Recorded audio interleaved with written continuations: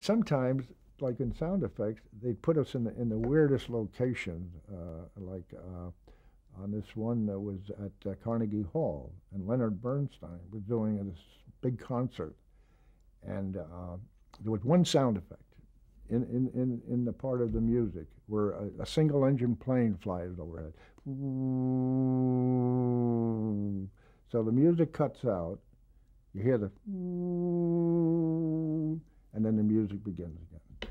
So uh, Orville, Orville White was assigned to the show, but as he got there, it was a remote crew, and they they, have to set up in, in, in these uh, in these uh, these wagons uh, like a, an RV, and uh, they're outside. And so he went in trying to find a location to put his turntable and to make uh, a communication with, with the uh, control room and his audio line.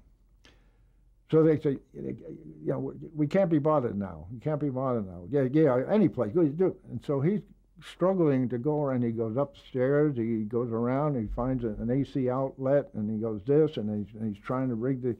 In the meantime, uh, also, you know, Leonard Bernstein is rehearsing.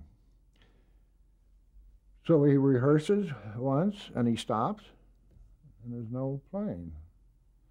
And now Orville is, is sweating bullets because you know he's trying to get this, this equipment together and, and to do it. And so Bernstein, they said, the director said, try it again, uh, uh, Leonard. We, we, have a little problem, but I, I, it's fixed now. But it wasn't fixed. So they did the thing again. Leonard Bernstein stops. No music. And he says, who's ever doing that record, are you so stupid that you can't put a needle down on a record? Well, Orville was black. And Orville, Orville was, had been in the, in, in the department, you know, as, as an equipment man, and then he served his apprenticeship and everything like that, and so he had been around a long time. But he just blew it. He went running downstairs and up on the stage. And he said, Lenny, if, if you're so damn smart, you go up there and stick the needle on the turntable. Well, the orchestra, I mean, just about collapsed. You know, I mean, they all laughed. And Bernstein never said another word.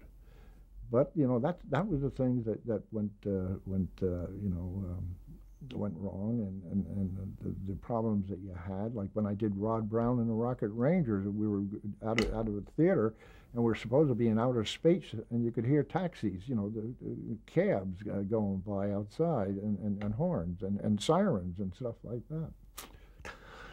So that was some of the other problems we had.